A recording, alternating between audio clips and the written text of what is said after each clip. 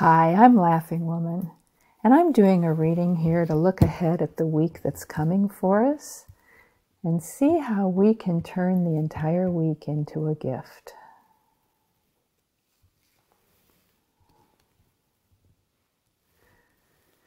The first card is Five of Fire, Challenge.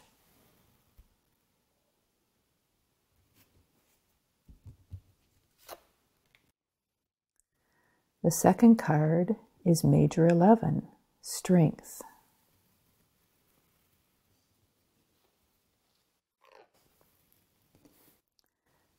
The third card is Two of Fire, Impact.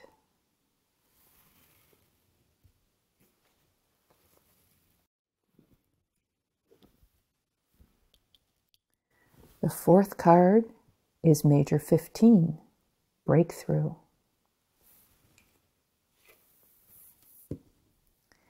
And the fifth card is Ten of Fire, Autonomy. So we're beginning the week with a bit of a challenge. This is a challenge that we need to have because it's occurring in an area where we wonder whether we've got the power, the strength to move through that challenge. And we need to learn that we actually do. So this is a challenge that when it first presents itself to us, may look like it's insurmountable or almost insurmountable.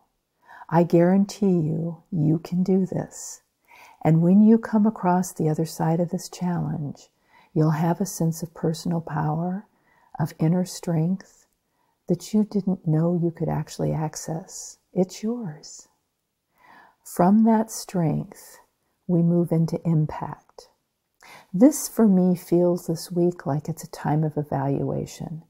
It's a time of looking back a little bit and seeing how our behavior, how our choices, how our actions have impacted our own lives, and see whether there's any of them that we'd like to adjust a little bit so that we can move forward with a little less resistance to our own life and our own well being, and a little more embracing of our own thriving.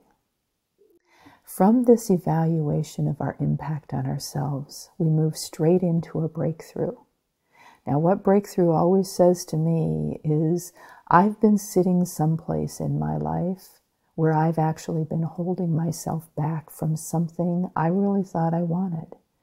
And now I've given myself permission to just move forward, just get through it and go on.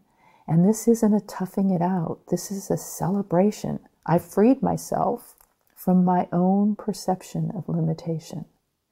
From breakthrough, we move into autonomy. And autonomy is all about knowing that I can do it myself. Whatever it is that I want to do, that I need to do, that inspires me in life, I have within me all that it takes to get there. So head into it. So, in summary for this week, we start with a little bit of a challenge that may not look like it's actually doable, but it is. From that, we get in touch with a level of personal power that we've really needed to know we had. Do a little bit of evaluation in the middle of the week and make sure that you know how to create an impact that you want on your own life.